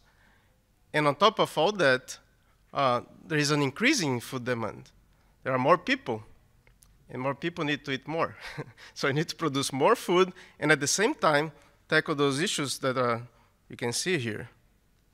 So the challenge is really to produce more food using less resources and reduce all those environmental uh, issues that we're talking here. So the concept of sustainable intensification is not new. It's been around for some time. But at the end, we need to deliver more ecosystem services per unit of resource input. And when I talk about ecosystem services, it's not only beef or milk, but also carbon sequestration, pollinator habitat, and all of those things. So the question is, how forage legumes uh, can help us to face that challenge? Um, there's a list of things that I don't need to read everything. Everybody's well versed on those topics. Uh, uh, and I'm gonna go uh, through those, um, some of those things today uh, to, to make the case that I think the forage legumes are a good option to, to help us to navigate through the Anthropocene that now everybody knows what it is. First things first, uh, and, and I agree with uh, Bob, you know, um, they need to persist, right, Bob? Uh, and uh, I, when I, you know, finished my PhD, got back to Brazil, and I, you know, I, all that science that I learned at the University of Florida, I learned that uh, we need nitrogen to grow plants. And there are, you know, two main ways to do it. Put a nitrogen fertilizer or introduce forage legumes. Nitrogen fertilizer was quite expensive during that time, and it still is. Um, so, well, let's go to the legume road. And then uh, we tried different herbaceous and, and, arboreal legumes to see, okay, let's, let's see what works here. And um, so all of those that you see there, so uh, uh, those are pictures from, from one of my trials when I was back there in Brazil. Calopogonium, Stylosanthes, we, we tried all of those things, Pueraria, um, Centrosema, Clitoria. After two years, they were all gone, except um, the Arachis. We also planted Arachis, and Arachis was, it persisted there. Well, um, those annual legumes, or not annual, but uh, those legumes that don't persist much, I think they have a niche in the integrated crop livestock system, as, as Bob already mentioned. And I, I, you know, my focus will be more on the tropics and subtropical regions. And I know the clover is another story, and clover can perenniate in some areas, but uh, in our region, in North Florida, it's pretty much you need to plant every year but it's also an option to the cool season. But yes, in Brazil, I think those, even those legumes, Bob, that are crowd farming, they could have a place, a niche in the um, integrated crop livestock systems. So the persistence uh, that uh, Bob already mentioned, Arachis pintoi, Arachis uh, desmodium, but you also have Arachis glabrata that is very popular in Florida and is also very persistent. Um, Dr. Sollenberger has some fields that are how old? The fields, 40 years maybe? Over 40 years old on the grazing uh, in Florida with Arachis glabrata. So it's a pretty tough legume. Once we established, it's going to stay there. Um, there is another option. Um, if you want to go bigger, you, you, you, can have the uh, tree legumes, arboreal legumes. Uh, and uh, like I said at the beginning of my program back there, I also you know, tried to, to select some of those. And and those two, Gliricidia and Mimosa, were uh, a good fit for the systems there. Actually, when, once they're established, the grass is the weak link. You need to be careful with the grass because it might disappear. Um, so again, biological nitrogen fixation is key. It's a key role of uh, legumes uh, in grassland ecosystem. For me, it's one of the top priorities when I think about a legume. I think the first thing is biological nitrogen fixation. And uh, I think of course, it, it, it, varies with different legumes and management, and, and, and mainly proportion of the legumes in the botanical composition. If you have more legumes, you have more biological nitrogen fixation. Uh, and uh, that, that data came from Luana Queiroz, she's here, uh, from Florida, different on-farm trials. You know, it's just simple. More legumes, more biological nitrogen fixation. At least 30% is the number that we try to, to get.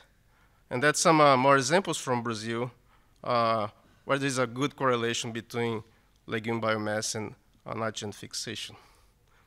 The range of fixation varies a lot, and that's here for the three legumes. You know, it really depends on the population of those legumes, the management, the ecological regions. But, it, you know, 100 kilograms um, per year, per hectare per year, it would be a, a pretty common number to, to find in the literature. Um, so I think, that, and that varies a lot. And some of those are very successful in different uh, regions of the world, like in Africa or in, in Australia. In, you know, Leucaena is a good example there. Uh, and in Brazil, still, we still need to do the, the tree legume revolution. So reduction of carbon footprint, uh, and that's a point. We need to do the, the life cycle assessment of the whole system. and, and Bob mentioned that uh, legumes can replace nitrogen fertilizer, and nitrogen fertilizer, um, you know, it's produced with uh, fossil fuel, natural gas, and has a big carbon footprint. So if you replace um, the fertilizer by, by, the legumes, you might have um, a reduction in the carbon footprint. And also, they can help also with the carbon sequestration. I have an example from the tropics. That's a Mimosa caesalpinifolia. It's a tree legume. This thing grows 10,000 uh, 10, kilograms of dry matter per hectare per year. We measure those, you know, after a long five, 10 year period. So that brings us, you know, if you put 40%, 44%, I put 40, that's four tons of carbon per hectare per year, just on the above ground biomass that is growing. And 9% of those are on branches and timbers, only 10% leaves. Uh, that's equivalent to 3.6 tons of carbon. And if you put in CO2 equivalent, it's 13.2. We didn't measure the roots. I didn't find a brave enough graduate student to measure the roots of those trees. but I'm assuming 20% of the biomass below ground. I think that's reasonable to assume, in, you know, based on some numbers. That would give us an additional 2.9. Um, if you sum up with the 13, it's uh, you know, up to 16 tons. If you, we didn't measure that as well, but uh, getting some data from the literature on the methane, uh, we could go up to five tons of CO2 equivalent. So this is far from being a life cycle assessment, but there's a lot of room there to suggest that this is a sink of carbon. Um, and there is uh, some data here from that same site showing that uh, we have uh, greater uh, carbon, uh, especially near the tree side. Uh, that as we move away, the carbon stock kind of reduces here and here. And that's A is for um, and here is for mimosa. But similar trend with a greater carbon. And they also uh, compared with uh, just uh, signal grass monoculture and the silvopasture system had way more carbon in the soil. Moving forward to nutritive value and, and preference, and now we are moving north to Florida. We have Bahia grass and uh, Rhizoma peanut here. And uh, as you see, um, digestibility of um, Rhizoma peanut is, is way better than than the one from Bahia grass. It's you know 70% against 45, 50. Uh, crude protein is around 17, 18% against 10, 12. 12 is already on the good side of Bahia grass. Uh, and that leads to um, a preference uh, of grazing animals. You see, this is the carbon 13 of the fecal samples, and this is the, these are the animals grazing on the perennial peanut Bahia grass mix. So that clearly, as, as you go down in this scale, gets more negative, that means more legumes in their fecal samples. So that's, uh, you know, clearly indicates the preference of those cattle uh, on, the, on, on the legumes, on the, on the perennial peanut. And that translates to the uh, performance of those animals. As, as you see here, uh, and, and David Jaramillo showed some of this data in the morning, 74% uh, increase in average daily gain, greater um, gain per area compared to the grass monoculture. Uh, stocking rate a little lower, which is good. We are producing more with less cattle. That means less methane emission per unit of area. We'll be more um, efficient. Uh, so, um, and, and as uh, David showed in the morning, we use less water to produce the same amount of beef. Another example coming from the tropics now, from the arboreal legumes. In this, in this one, we, we compare three different uh, arboreal legumes with uh, signal grass in monoculture. That's Gliricidia signal grass and Mimosa in signal grass. And here, signal grass in monoculture. Average daily gain was better in the signal grass um, Gliricidia system. As you can see here, uh, the stocking rate was similar here, but lower in the Mimosa. And the gain per area was better in the Gliricidia uh, signal grass system. Uh, the Mimosa system, the, the, trees were fully developed. Uh, so at the beginning of the system, kind of, there is not a whole lot of difference. But as you move forward and the trees get fully developed, it gets a big competition with the brachiaria. So that, that's a picture, a drone picture from that system. You see the Mimosa system here. You see the competition, especially for water, with the um, brachiaria, that's the gliricidia, and that's the pure signal grass system. Uh, greenhouse gas emission, Lisa Garcia measured that. There was a big trend here to reduce uh, methane emission intensity as you had uh, more legumes in the system. Uh, and, and Marta also showed that um, nitrous oxide emission was uh, lower uh, in the uh, legume compared to the grass plus nitrogen system, especially you know, because of the emissions from the fertilizer, both in the winter and in the summer. Another student uh, did some work with uh, Sericea lespedeza that has condensed tannins, and we measured the greenhouse gas emission from the, uh, from the excreta. And, and we got some interesting results. We get animals eating no lespedeza, 50% of the diet was lespedeza, the other 50 was grass, Bermuda grass. Here, Bermuda grass, 100%. And this is 100% lespedeza. Uh, so the, the pure grass, is, which is the blue line, end up with a more um, night, uh, fecal N2O emission, at, especially at the beginning, but bigger difference uh, in the urine here. Here is the, here is the 100% uh. Uh, you see less emission of uh, nitrous oxide from the urine compared to the grass. Um, so we didn't measure, but there are some suggestions that condensed tannins can be metabolized uh, end up, you know, with some hippuric acid in, in the urine, which reduce uh, nitrous oxide emission. Some pollinator data as well for, from uh, Lisa Garcia again, showing that uh, we found more bees in the grass uh, legume systems. And you, if you contrast, you know, grass legume versus grass uh, only systems, we also end up with more bees, bees in the uh, grass legume mixture.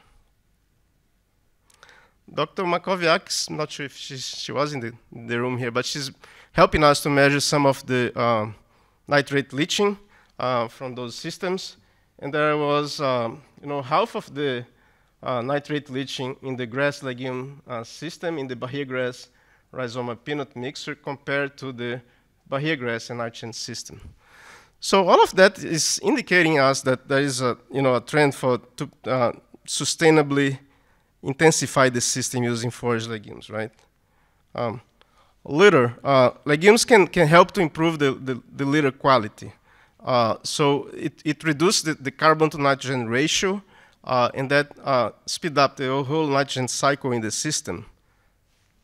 Um, Dr. Coleman um, showed some examples of that.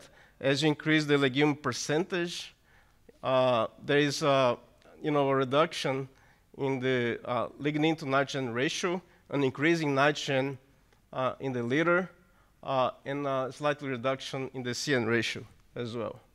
That's another uh, data from, um, from Brazil showing a similar thing with greater litter nitrogen in the Brachiaria humidicola desmodium ovalifolium.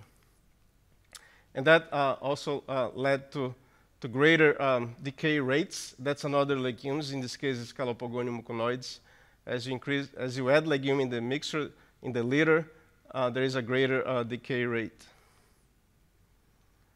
Uh, and that uh, results, uh, again, another work from Dr. Coleman, showing that as we increase the proportion of legumes in the litter, there is a greater decay rate. this is a remaining nitrogen in, in, the, in the um, bag, and, and, it decreases. that, that tells that there is a, a faster nitrogen mineralization rate for the legumes. I'm getting towards the end. I have a couple more slides. Uh, this uh, came from Bruno uh, Grossi uh, and, and, Bob's group, actually, from, from Brazil. It's a nitrogen cycle uh, in grass legume mixtures. And here you have the biological uh, nitrogen fixation. Then you have the pools and, and, the flows of nutrients. I'm not going to go through all that. But I want you to, um, to take a look here at this number. At the end, there was a net gain of nitrogen in this grass legume system. Uh, they also have another uh, system with just monoculture grass without legume and without nitrogen fertilizer. And in that one, there was a loss of around 40 kilos of nitrogen per hectare per year. So that shows that the legume really helps to sustain the system without, you know, and reducing the, the nitrogen input. Uh, Uh, Roger Trump uh, helped me to put together uh, this uh, figure, also compare the nitrogen fertilized grass and grass legume mixture uh, from some of our data, trying to, to fill the gaps. We still have a few gaps here in this figure that we're trying to address in our research program. But uh, we don't have much time, but I want you to focus on the last line here, which is gain of uh, live weight per kilogram of nitrogen input.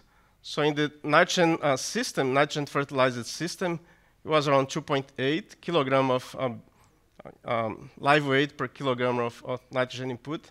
And in the le legume system, was around almost you know 7.5 or 8, uh, 7.6 uh, kilogram of uh, live weight per kilogram of nitrogen input. For me, that's sustainable intensification. Uh, the, the nit nitrogen cycling in the grass legume mix is, is much more efficient than uh, in nitrogen fertilized systems. So take home message, uh, yes, I think forage legumes are key components of sustainable livestock systems. Um, and, and that sustainable intensification can reduce the carbon footprint of those systems. Um, and there are still some bottlenecks uh, for adoption. I think the seed, in the case of the tropics, is a, is a key component of that. And uh, arboreal legume, although has been uh, uh, successfully adopted in Africa and in some areas in Southeast Asia in Asia, in Brazil is not there yet, so we need to work on the outreach. And I want to thank all my uh, co-workers, all my students, the forage team, all the colleagues, and, and the great group of people that put all, all of this together. Without them, would not be possible to do. Thank you very much.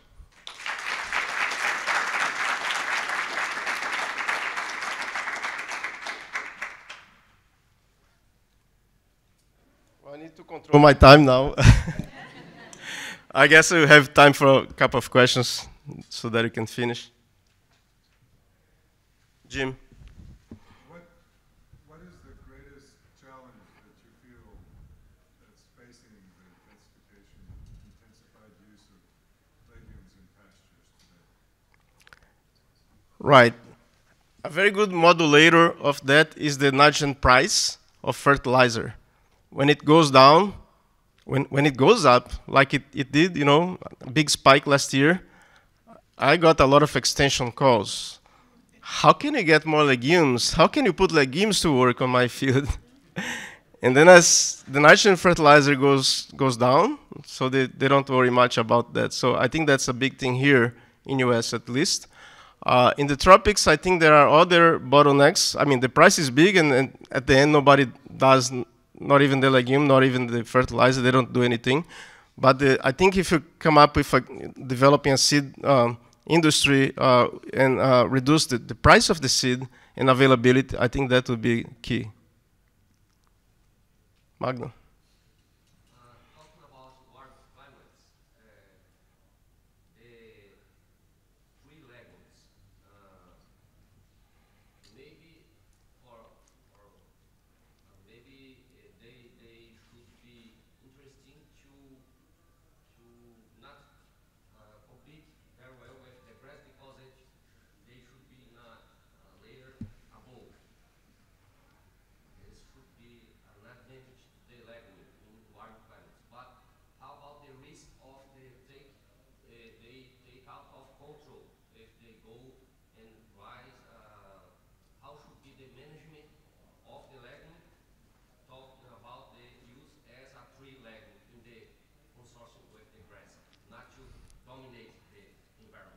Right.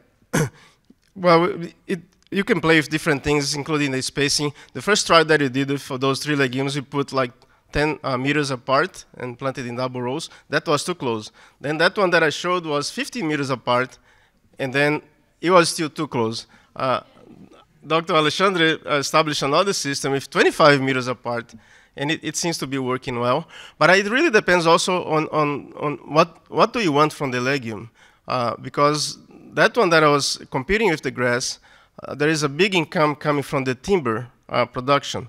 Uh, it's, it's, you know, probably, you know, greater gain, economic gain than the, the cattle itself.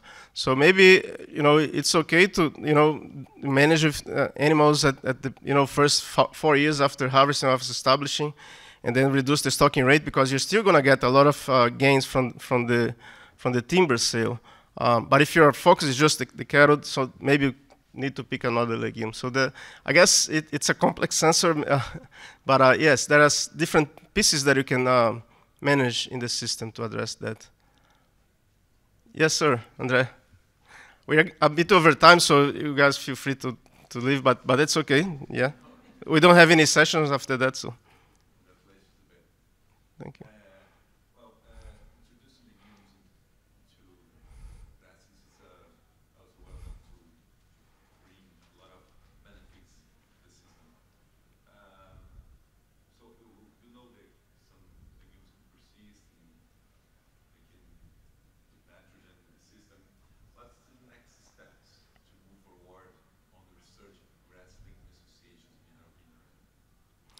Right. Uh, the first thing is to, to get them there, right? And, and then make sure that they stay there. And second, of course, you need to refine those. I've been a lot of, uh, I think another thing that is different today, at least in Brazil, I can talk about that. We, we built uh, capacity. We, we built a lot of, uh, you know, um, the universities, Embrapa, all of those folks. There is a lot of young, you know, people working on, on and addressing this issue. So we need to refine, and for example, uh, Brachiaria and Arachis pintoi is an example, and there are groups, you know, working, uh, trying to refine the management, you know, the, the light interception, interception, the stubble height, and, and things like that, you know, to, to, to fine-tune the system. But uh, the first thing is establish and make sure that they stay there. And then you need to refine, but I think we, ha we have built capacity in the last few years, in the last decade or so, yeah. Miguel.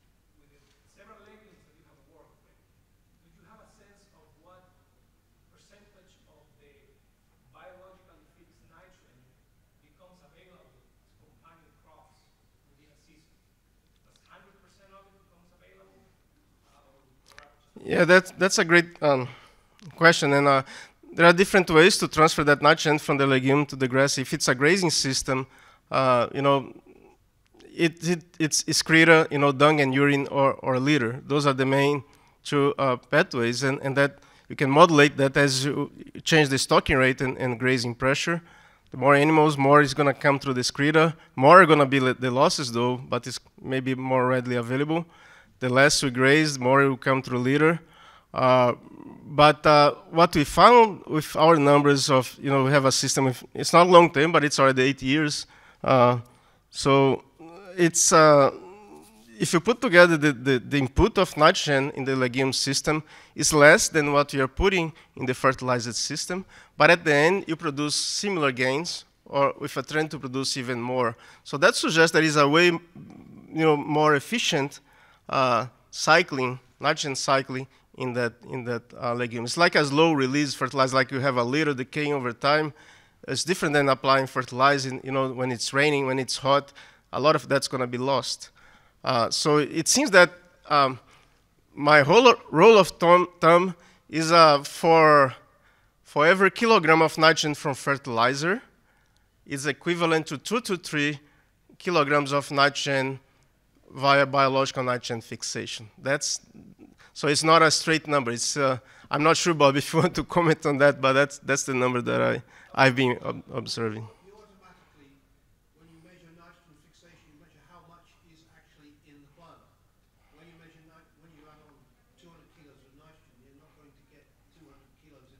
Right. So automatically you're going to have some immobilized in the soil, some lost gaseously or leaching. Right. So it's it's a it's a, around two to three. Yeah, I think we can get 150 kilos from those legumes into the system. Right. And that would be two or three hundred kilos of nitrogen fertilizer. Yeah. At the moment, we, you know, we've got a firm figure of 100, 100 kilos from nitrogen fixation, a little over, uh, Right. And if you have the opportunity to overseed, you know, like we have in the subtropical regions with clover, then that's a win-win because you have the, the summer legume and then you have the, the cool season legume also helping fixing some nitrogen. Right. Yeah. We are over time, and I think we, I think you guys have you know other things to do. So I, I want to thanks all the speakers uh, for the great session, and, and thanks for everybody here.